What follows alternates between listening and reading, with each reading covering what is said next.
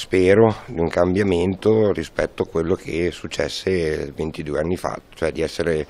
eh, stato condannato per un eh, reato che non avevo mai commesso e che non ho mai commesso, cioè appunto di far parte di una banda di pedofili satanisti della Bassa Modenese. Federico Scotta, 11 anni di carcere con l'accusa più infamante, ora attende la revisione del processo alla Corte di Appello di Ancona competente sui casi dell'Emilia Romagna. L'udienza slitta al prossimo 10 dicembre perché ci sono altre istanze di revisione depositate. Gli furono tolti i figli di 3 e 6 mesi e la più piccola in sala parto. Nell'ambito nell'ambito della vicenda dei diavoli della Bassa Modenese. Sono stato accusato delle, di accuse che sono le più infamanti, soprattutto da parte di bambini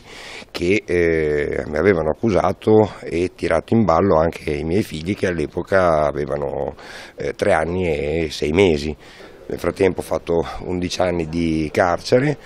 e non è stato facile perché entrare in carcere con questo tipo di reato è la cosa più difficile, soprattutto sopravvivere perché io dico che ho avuto 4 gradi di giudizio e spero che questo sia positivo, quindi 5, perché il quarto grado di giustizia è quello di sopravvivere all'interno del carcere con questo tipo di, di accuse. Secondo me questi bambini sono vittime istituzionalizzate, cioè nel senso che sono state e hanno avuto una metodologia di eh, racconti che sono metodologie che sono, non esistono scientificamente in base a come dicono tanti altri personaggi che fanno parte, tipo Cismai o eh, il centro Ansel e Gretel, dove hanno fatto eh, diverse perizie anche quindi su Bibiano, su Biella, su Riano Flaminio. Gli operatori erano gli stessi, per cui Ansel e Gretel erano in, i tecnici che hanno coadiuvato questi processi come periti del GIP, quindi se questo era il modus operandi e davvero questi ragazzi sono stati